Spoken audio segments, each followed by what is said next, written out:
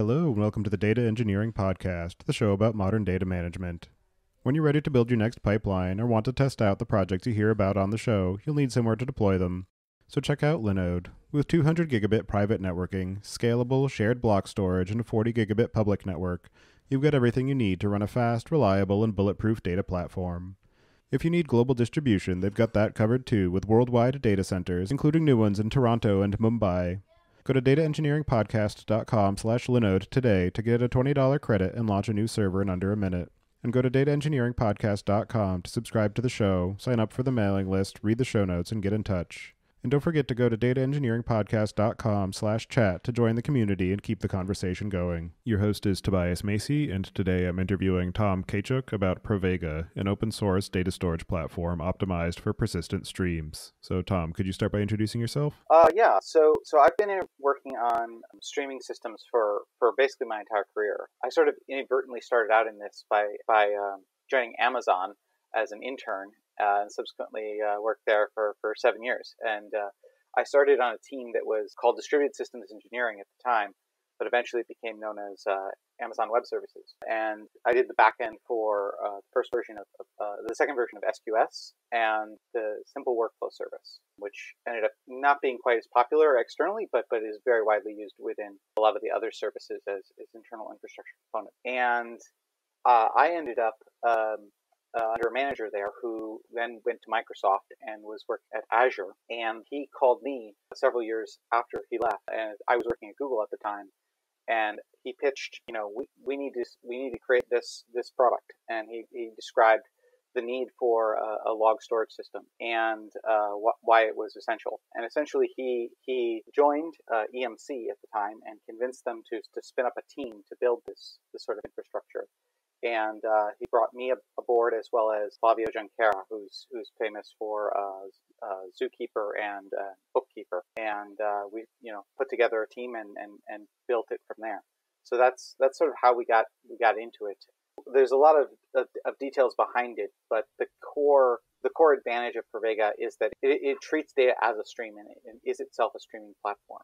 So that's sort of where everything else follows from is from that one key idea. Yeah, and if you just glance at it very quickly, in some ways it looks similar to platforms such as Kafka or Pulsar that are a sort of persistent log system. But as you get a little closer and look through the other capabilities, it becomes obvious that there are a lot more capabilities and options and uh, use cases that Pravega enables. So I'm wondering if you can discuss some of the main types of workloads that it was originally designed for and some of the uh, primary ways that people are using it.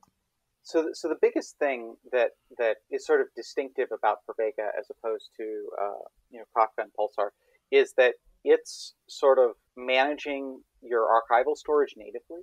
So Pravega divides things into sort of tier one and tier two, and this is sort of a common pattern that you see with, with people using Kafka, Pulsar, etc., where you'll you'll stream some data in, and it'll be on you know that system for a little bit, and then a retention period will kick in, and it will will drop it, and you know you'll need to have some some process that's spooling that data and, and, and dumping it into HDFS or something like that, or or you know S3 or whatever.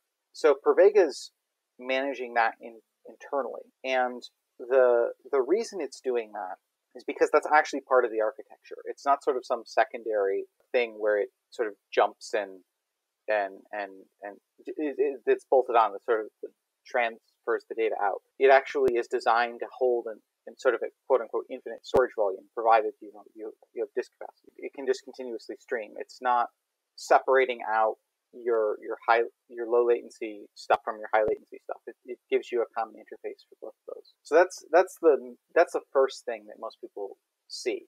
But the other thing that it does is Pravega gives you strong consistency. And the reason it does that is because it, it actually is a stream under under the covers.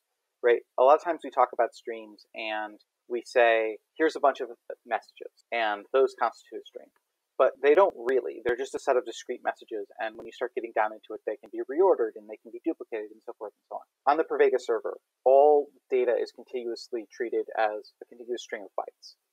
It doesn't actually know where one event begins and the next ends.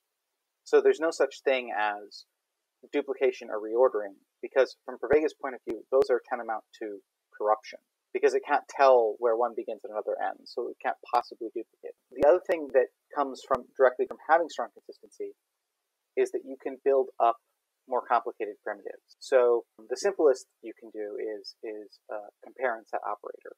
You can append data, but have that data be conditional. That that I want to append some data to the stream, but conditionally on this metadata value being uh, or the length of the stream being y. So you can you can do these these operations conditionally, and we can build a bunch of APIs on top of that. And one of them that we build that's that's probably the most widely used version of that is is transactions. So what you can do is you can write a bunch of data to a stream and say, I want all of this to go in or none of it. I want it to be atomic, and that um, and th- that that is unbounded in the in the amount of data you can put down there because what's actually happening under the covers is that data is being written to a to a segment.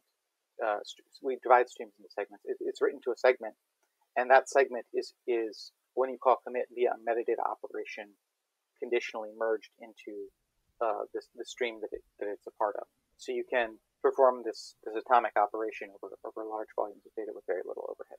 And so you mentioned that the representation of the stream on disk is just this sequence of bytes, and it also has these concepts of segments for being able to adapt to different usage patterns or volumes of data going through the system. So I'm wondering if you can talk a bit more about the actual on disk representation and some of the benefits that it provides in terms of persisting the stream and how that manifests in some of these higher order capabilities, such as the transactions or exactly once delivery and things like that. Okay, yeah. So streams are, are, are broken into segments, and the, the reason for that is so that they can they can scale up or, or down as, as needed. So if you can think about a stream as we have we have multiple interfaces, but when you're dealing with events like you would in a in you know Flink or, or if you're connecting to Flink or, or Spark or something, you have a bunch of discrete events, and you will send those events to different segments that are all part of the same logical stream. But those segments will certain events will need to go to one segment, certain events will need to go to another. And so the way we manage that is we define a sort of a, a key space. If you can imagine, like we take a string and we sort of hash it to a floating point between zero and one, and then we can divide up that space and say, okay, events that have their keys you know, associated with 0.5 will go to this segment and 0.75 will go to this other. That also gives us a, a, continuity. So across time, if we can we can change the number of segments, but you can still you can imagine like for any given key, there's a there's a contiguous order of what segments they should go to. And so, as long as you read them in that same order that you that they were written to, order is maintained even though the number of of actual segments is changing out from underneath you. So, a segment might might be on one machine, but then it might scale up and split into two, and then be split across two machines, et cetera, et cetera. So you can you can dynamically adjust how much resources a, a stream has access to by scaling the number of segments. In terms of how the data is laid out within a segment, it's actually very simple. It's uh, when it when it ends up in tier two, the data is written aside from sort of a separate metadata file that's maintained for other reasons. It's maintained as files that just contain the raw data that was written to that stream. There's no framing or overhead or anything. Depending upon your tier two implementation, which like say you're in HDFS, for example, it might be it might be split up into multiple files, but they're just contiguous and, and one follows right after the other. And in terms of the way that the segmentation happens for adapting to the usage patterns. I know that looking through the documentation, it mentions that it will use different sort of time allocations and split one stream into multiples in the event that there are more consumers than can be supported with just one stream, or if you have more writers and less consumers, it will uh, recombine the different streams. So, how does that logic function in terms of determining what the sort of transition points are and any tuning capabilities that are available to operators or application developers. For each stream, there's a configuration file, and that configuration specifies uh, we call scaling policy. The scaling policy contains like a target rate that you want to have on a, on a per segment basis, and that can be defined in terms of you know sort of kilobytes per second, or it can be defined in terms of uh, discrete events if your if your stream is defined in terms of that. And for the uh, automatic tiering of the storage subsystem, that's one of the other things that seems very compelling about Pravega is because you have that single API for data that is both on cluster and uh, you know life cycled out to some other storage mechanism i'm wondering if you can talk through some of the challenges of providing that unification and uh, any routines that you do to try and hide some of the latency issues of fetching that data back and any of the types of lifecycle policies that are available to operators. When data comes into Pravega, it's written to tier we call tier one, which is a high high speed, uh, low append latency storage system. It's notable that it's it's never read from there, and if it was, that would incur incur very significant costs. So it's, it's a very key to the architecture that we that we don't read from the tier one storage unless we're doing a, a recovery from a failed host failure. Um, so, so data is written to tier one. Once it has been written and enough data has accumulated for a given segment, that data is then written as a, as a large block to tier two. And usually uh, that takes the form of an append, where it's appending onto an existing file. Now, this means that when a read comes in, the data may or may not be in tier 2. If it's not in tier 2, it has to be served from Pravega. When the data is in Pravega, we need to be able to serve reads to it. But the data may or may not be in tier 2. If the data is not in tier 2, we have to serve it out of Pravega's local storage. That is a RocksDB that is configured to prefer to stay in RAM, but if it, if it has to, it will spill to disk. And notably, it has its, its journaling turned off. The reason for that is because we're using we're using the tier one storage for, for durability. So we can read data out of Pravega's cache here that's in this RocksDB and serve read requests there. But obviously, the majority of read requests won't be able to be served out of the cache because the cache is inherently small. What we can do is we can have a read request go to tier two, pull in a large amount of data, more than the user needs, and then return extra data or, or hold it in, in memory waiting for the next read call. The advantage of,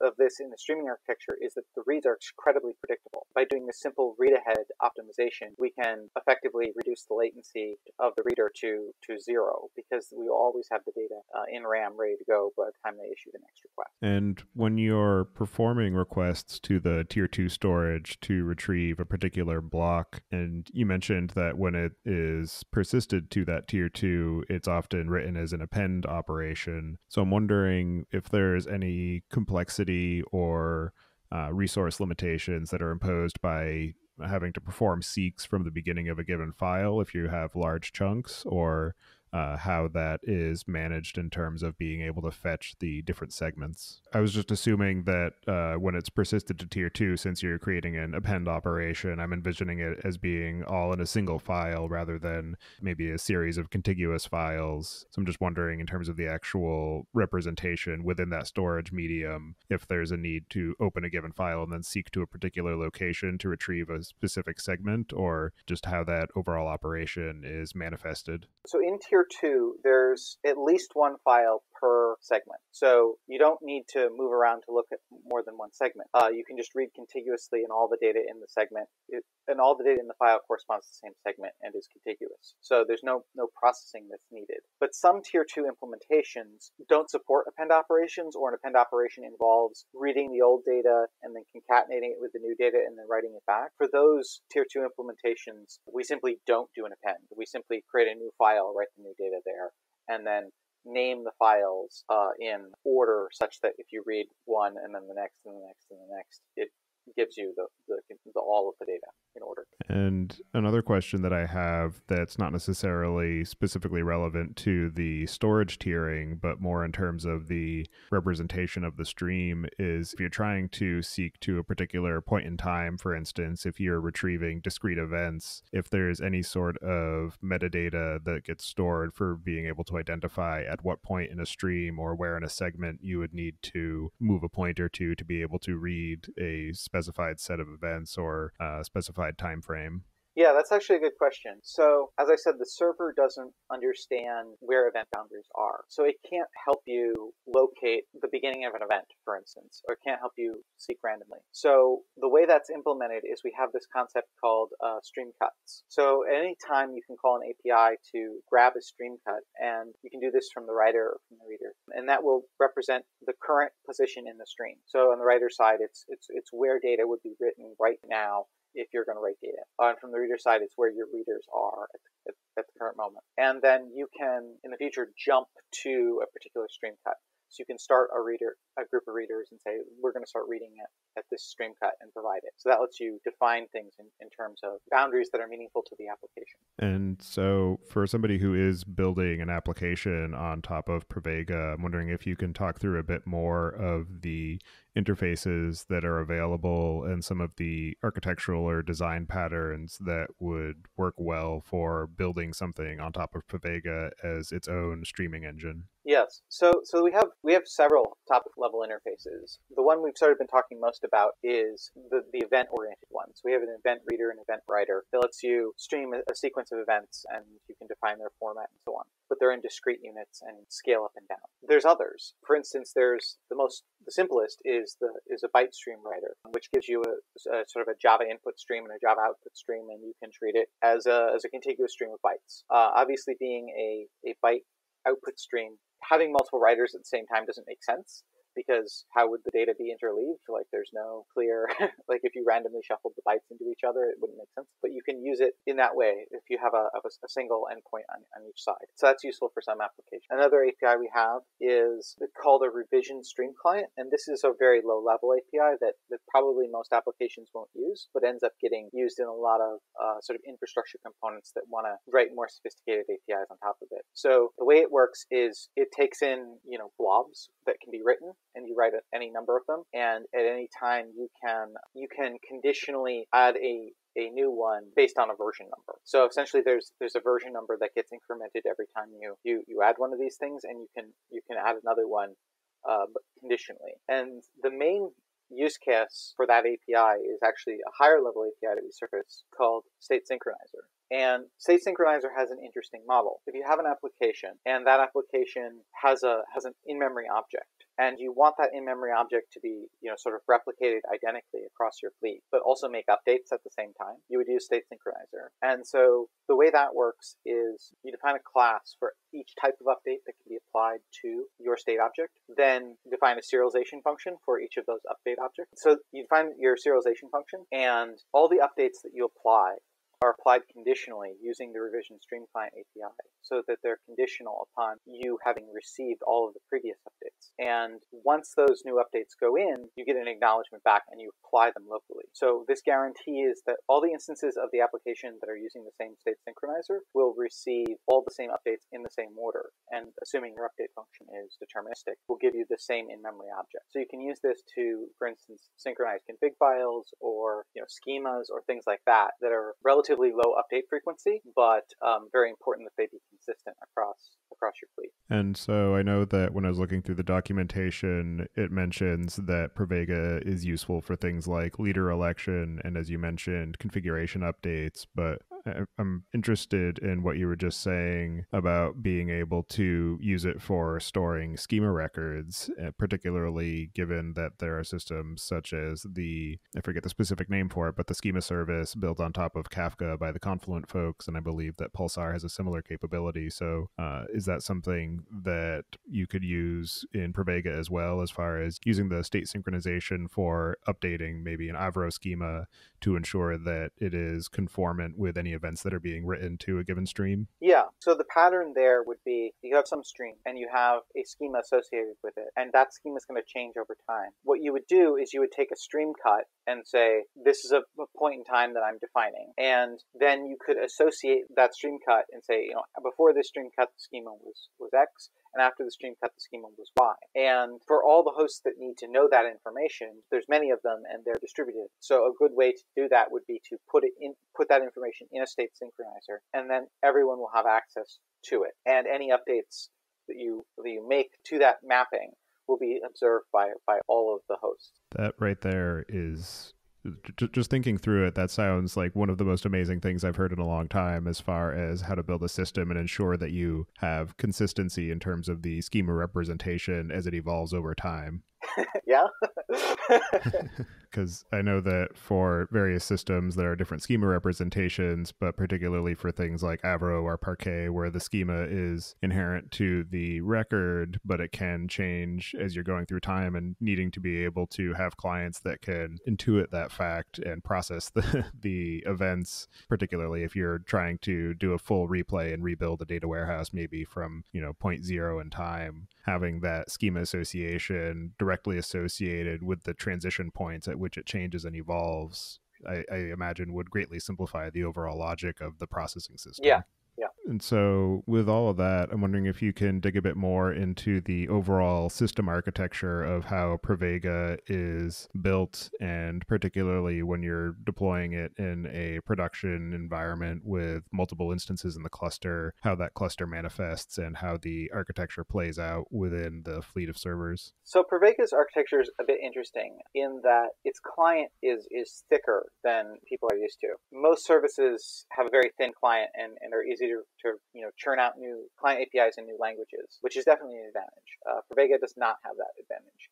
And the reason is because it has a very the, the server is not does not have a deep understanding of, of the data.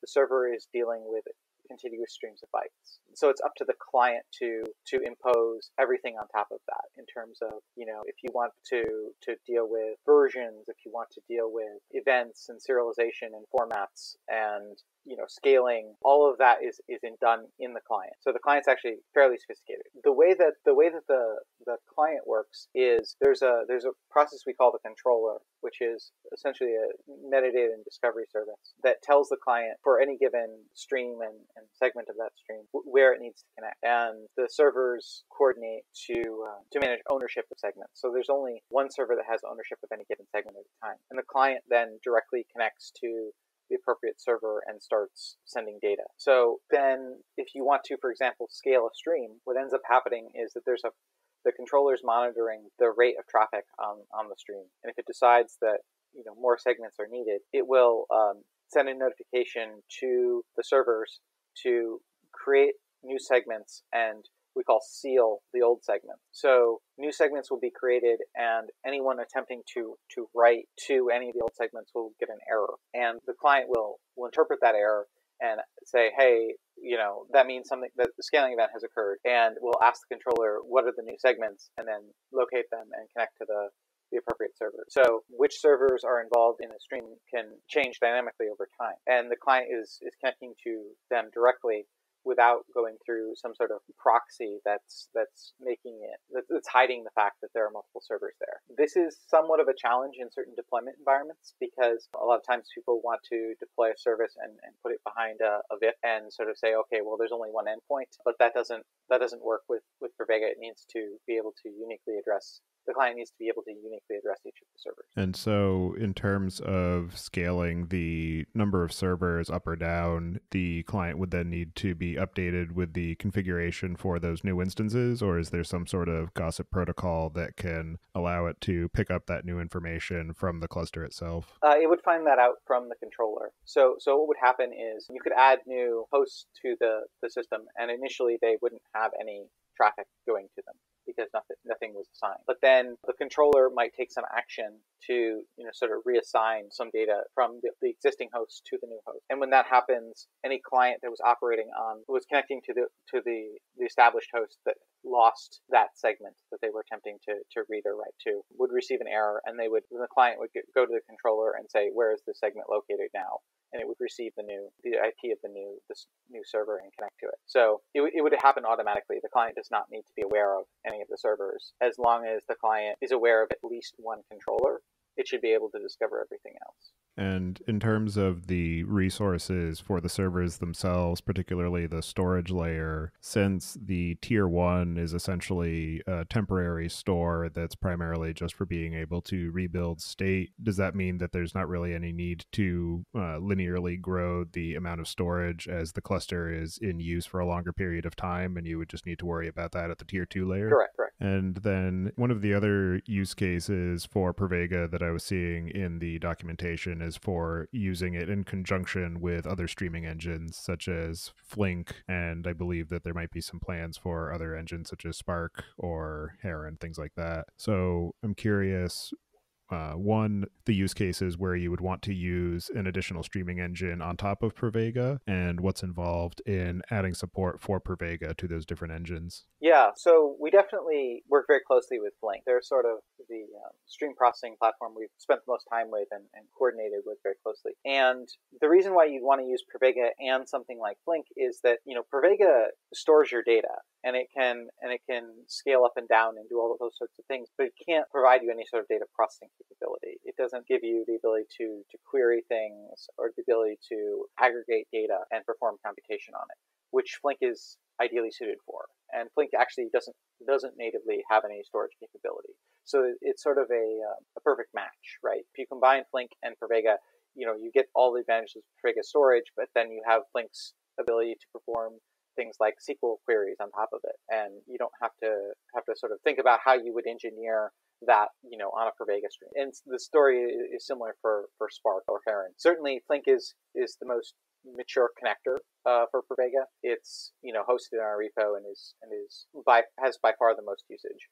And then in terms of the actual semantics of the stream itself, I know that exactly once is sort of the holy grail in these types of systems and can often be difficult to achieve. And Pravega advertises support for the exactly once semantics. And you also mentioned earlier the transactional capabilities. So, can you talk a bit more about how the exactly once semantics are manifested in terms of the uh, way that the streams are represented and some of the ways that transactions can be beneficial when combined with something like Flink for doing the stream analysis? Um, yeah, sure. So Pravega actually offers a, a, a, stronger guarantee in terms of exactly once than, than almost anything out there. And the, the reason is precisely because of, of transactional support. So a lot of systems are able to do exactly once processing, uh, assuming you get the data into their system exactly once. Uh, and then,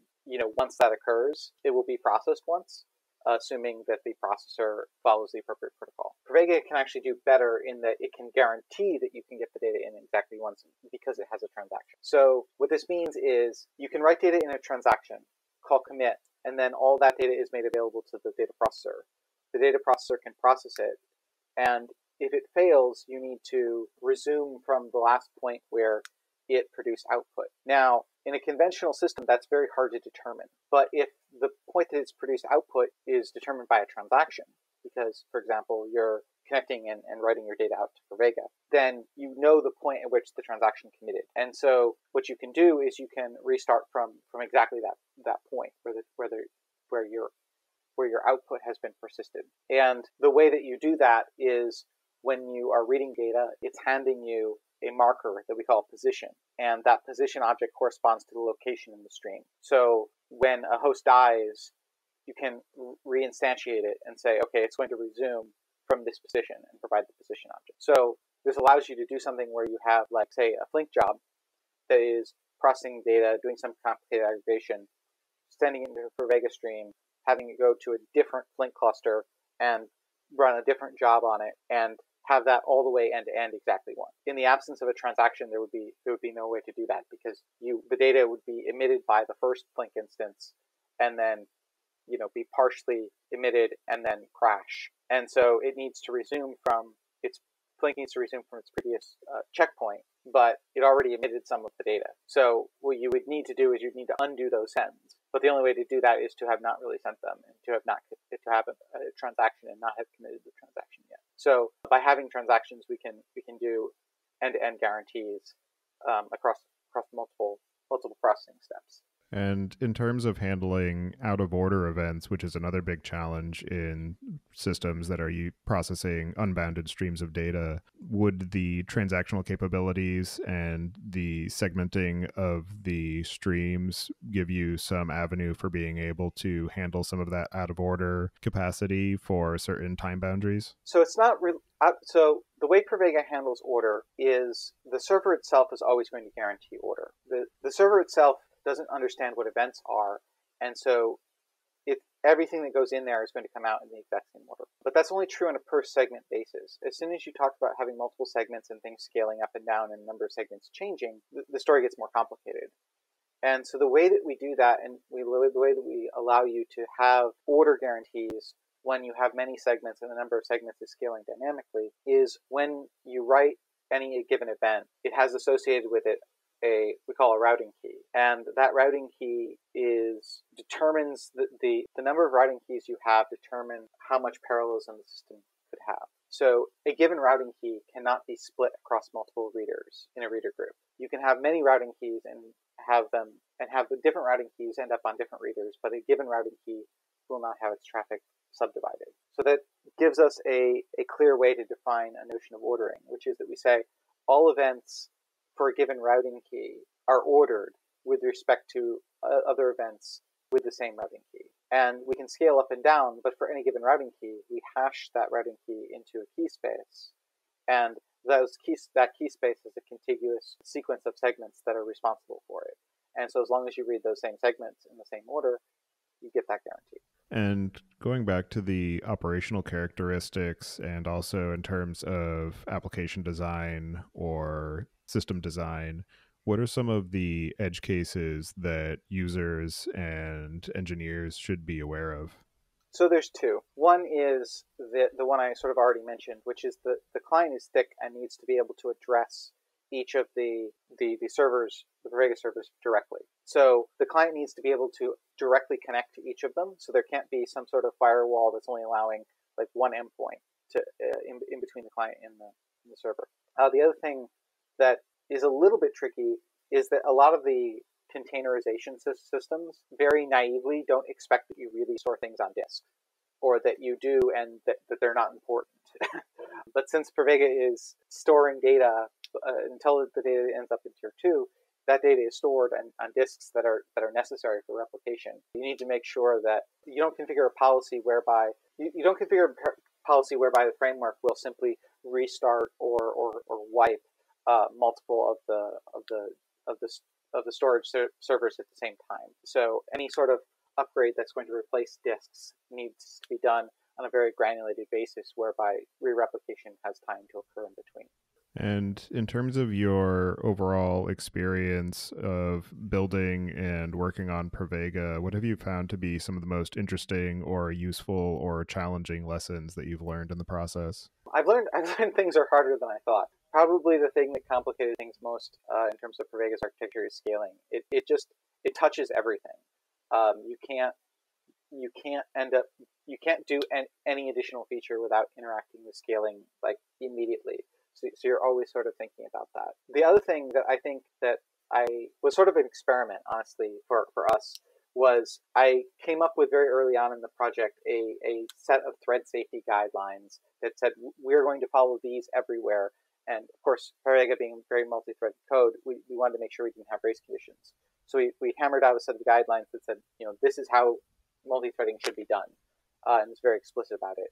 And um, those had to be modified a little bit along the way, but they but they've really worked out and they've prevented a tremendous amount of bugs.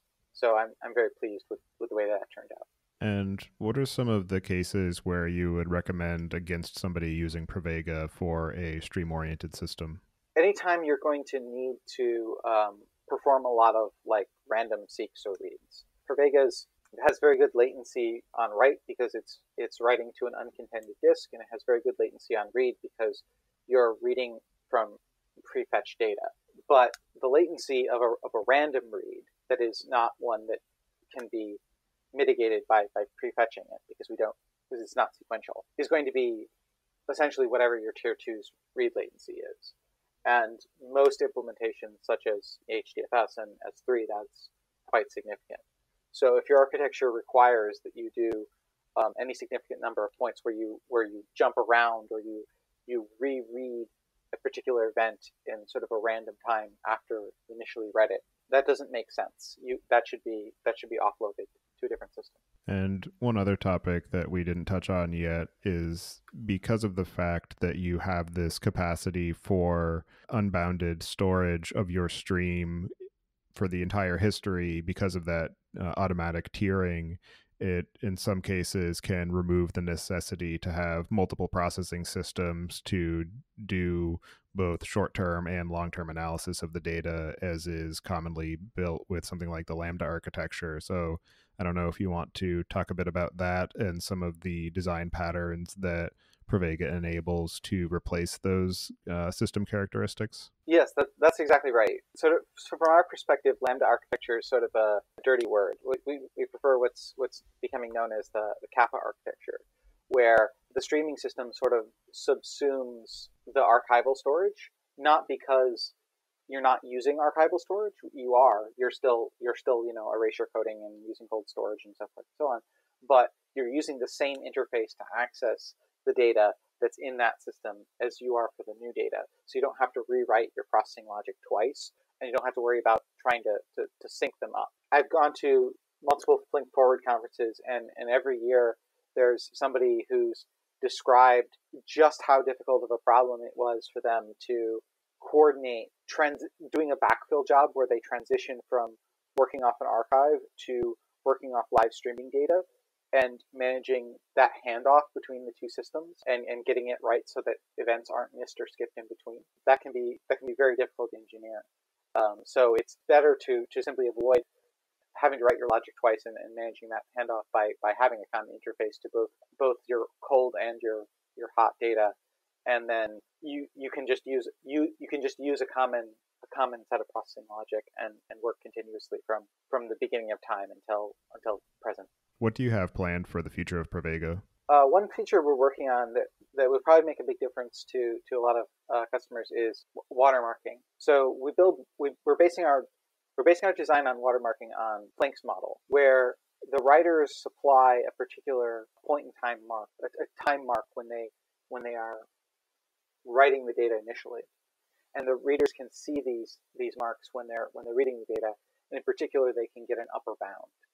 They can get the information that all writers, when they were at this point in the stream, produced a timestamp that was at least X.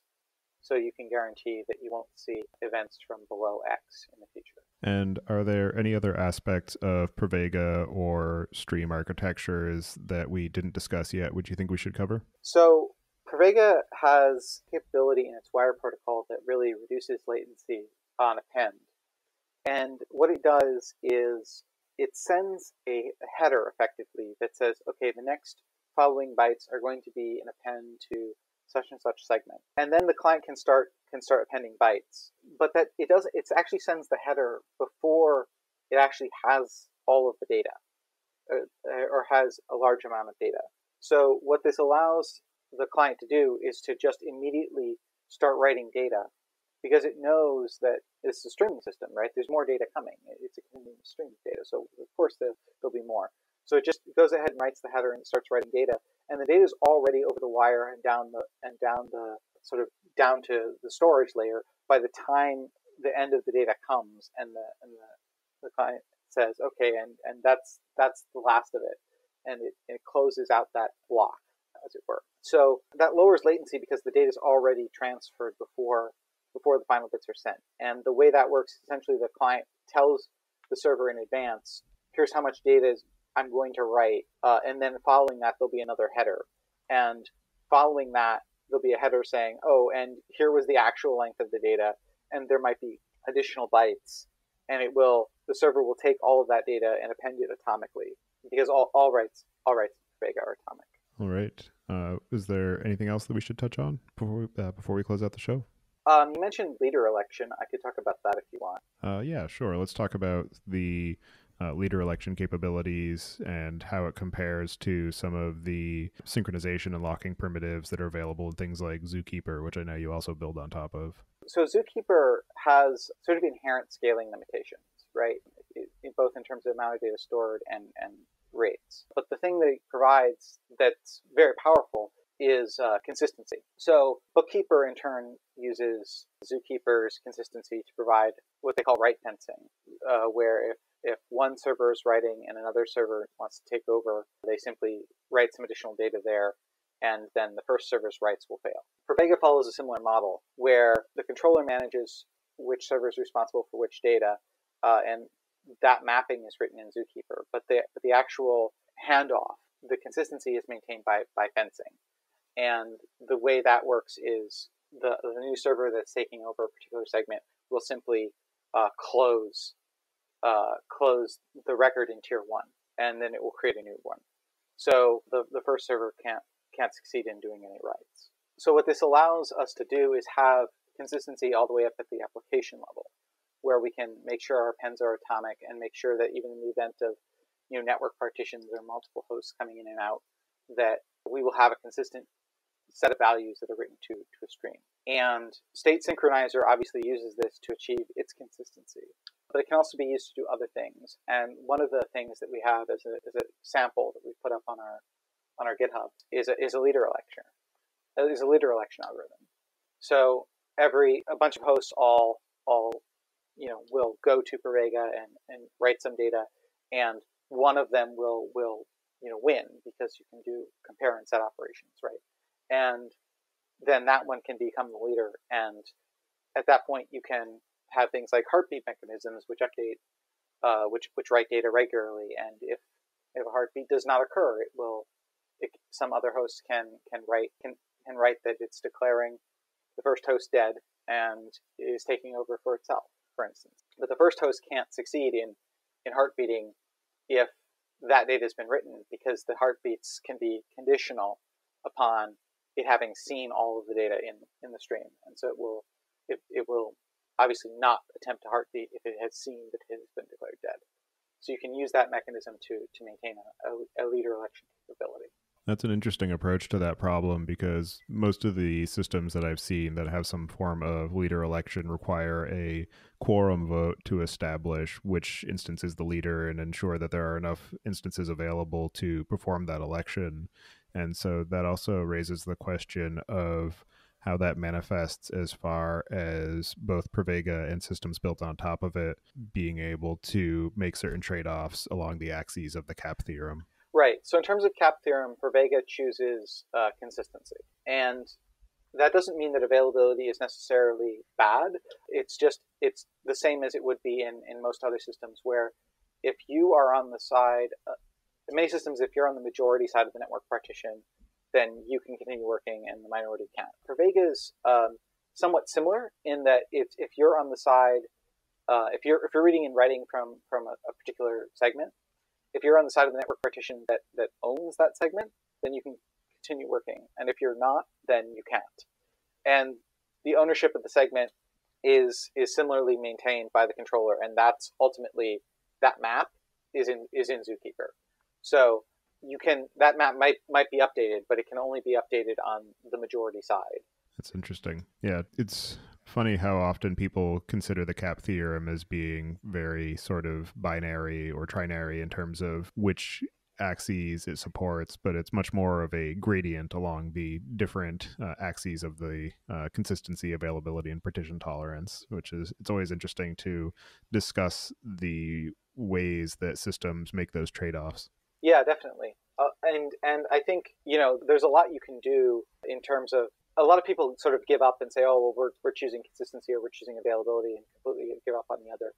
But even if you're not willing to make any sacrifices on one, you can usually make a fair amount of headway on the other.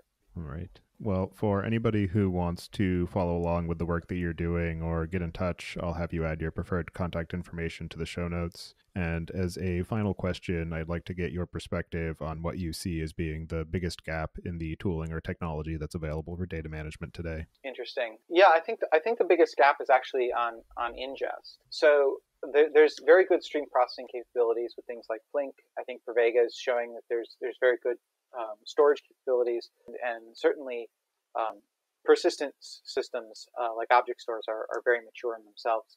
But ingest is actually very uh, immature and is is very fragmented. There's there's many different systems that all work uh, very differently, and they haven't even yet gotten to the point where there are consistent patterns that are sort of universally applied.